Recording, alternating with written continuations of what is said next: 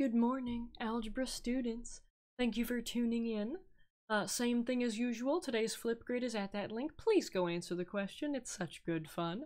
Uh, if you are watching this video, you have already found the YouTube lesson for today. Now please, try these problems in your notes, pause the video, and try A and B in your notes, and then unpause it to do it with me. Okay, so let's get our different colors here. Uh, this is a review back from 7.3. We are gonna see. Remember, this is. Uh, we'll do A right up here in red. This is the the sum and difference pattern because look at this. I have x and I have 4. I have x and I have 4. The only difference is that I have 1 plus and 1 minus. So, when I'm working on question A up here, remember that when I have x plus 4 and x minus 4, I'm just going to take the first thing and square it. And I'm going to take the second thing and square it. And I'm just going to subtract the two.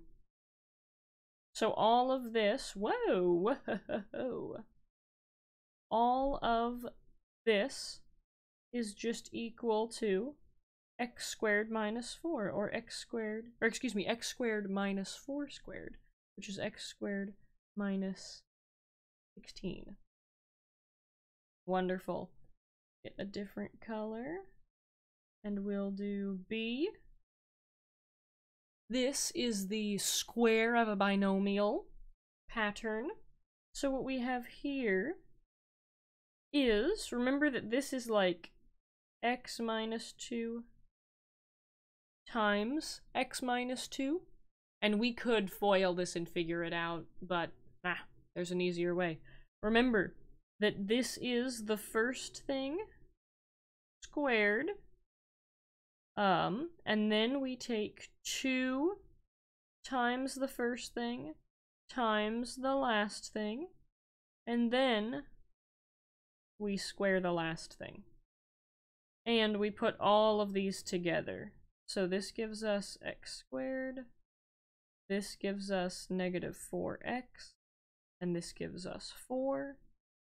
And then we put all of these together into x squared minus 4x, ah, minus 4x plus 4. So it, it follows that pattern of a squared minus 2ab plus b squared.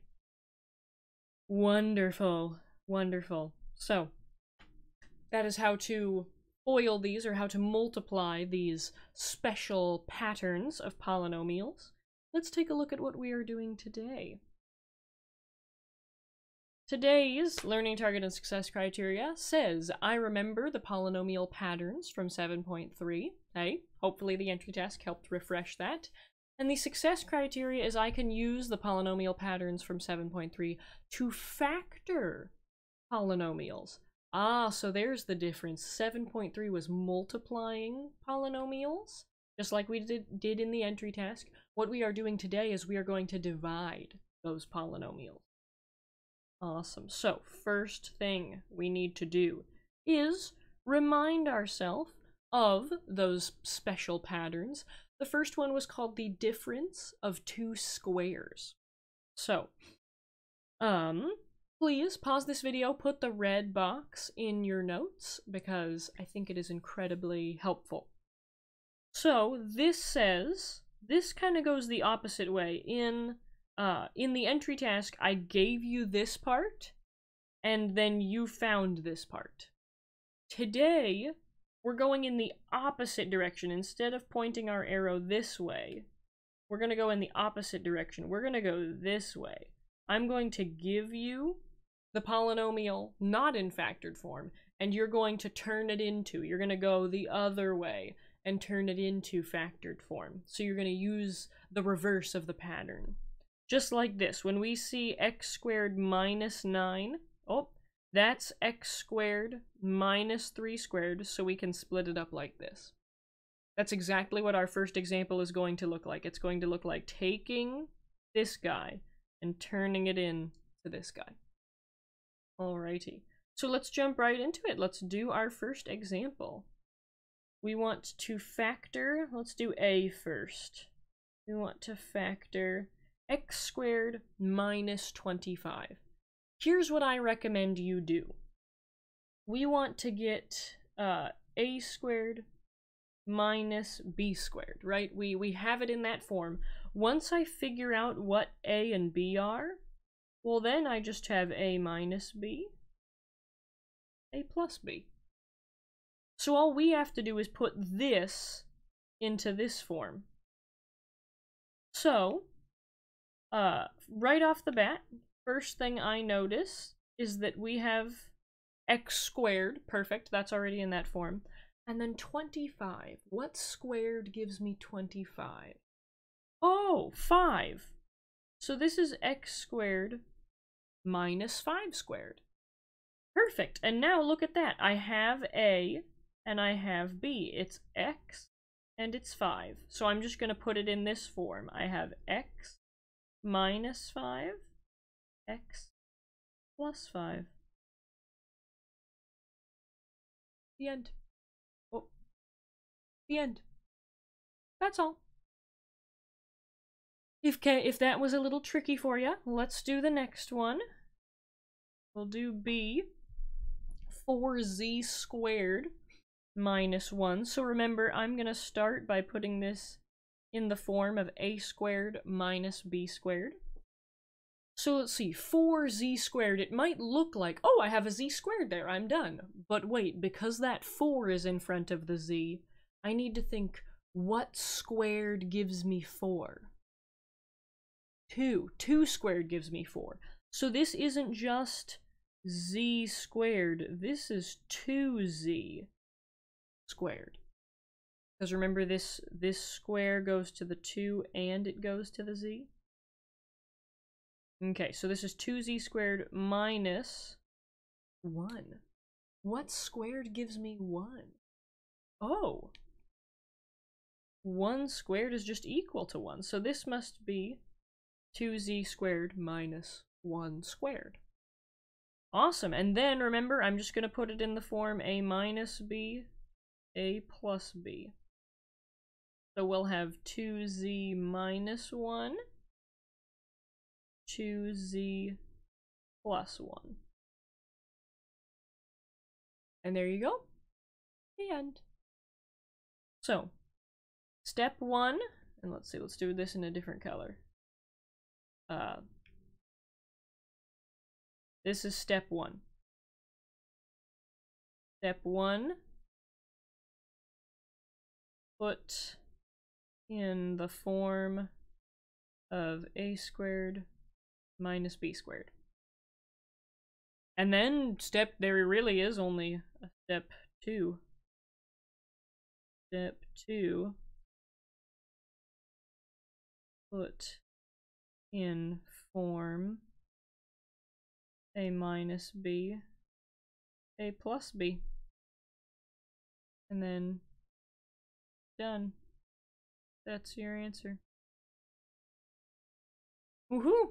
Awesome. Let's check and make sure that we were right, though. Gotta check and make sure that we were right. Ah, beautiful. x plus 5, x minus 5, and 2z plus 1 minus. Okay, check marks. We were right. Okay. Next, there were two patterns that we saw in the beginning. The first one was the sum and difference pattern. The next one is the perfect square trinomial. Uh, trinomial, remember trinomial because one, two, three. Same here, one, two, three. That's why we call it a trinomial. Uh, please make sure that this red box is in your notes. Remember, what we did last time, let's do this in a different color so you can see, is we had this part, and then you gave me this part. That's what we did in the entry task. We had something that looked like this, and we spat out the thing that looked like this. Today, we reverse that arrow. I'm going to give you this, and you need to give me this form. So today we're we're going in this direction. We're going from the trinomial to the uh, factored form with the binomial.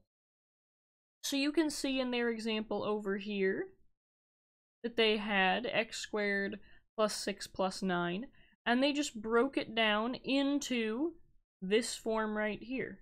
They said x squared plus 2 times something times something plus 3 squared. So a plus 2 times ab, oops, a squared, plus 2 times ab plus b squared. So they put it in this form, and then that allowed them to just take a plus b squared. So that's what we're going to do with this one too. We're just going to work our way backwards through the process. So let's do some examples. Factor each polynomial. Okay, so uh, could you factor this in the way that we did on um, Friday? Friday or Thursday? The way that we did last week. Could you do it that way? And could you do this and say it needs to add to 8 and multiply to 16, find the two numbers? Yes. Yes, you most certainly could. And you would see that, ah, uh, that you, you would see that this needs to be 4 and 4, and we would get n plus 4 times n plus 4. You could totally do that, and you get uh, the same thing. You want to do it that way? Totally do it that way.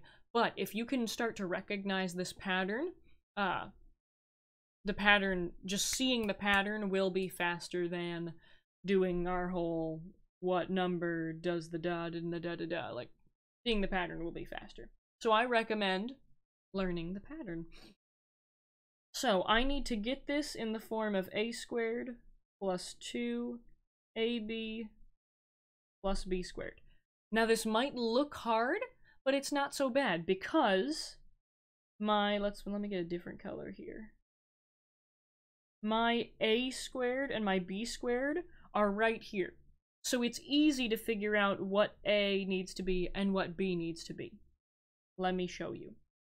So, what uh, well, n, n squared, that just stays the same. That stays the same. And then what squared gives me 16? Something squared equals... Ah, 4 squared.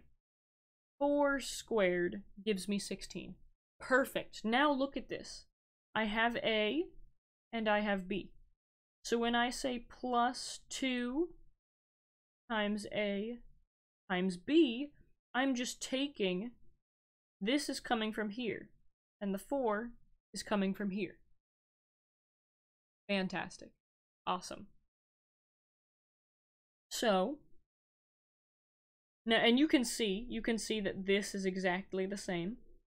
These two things are exactly the same, but now it's much easier to put in the form of a plus b squared. Because I know what a is, and I know what b is. So I have n, which is a, plus, what is b? Ah, it's 4.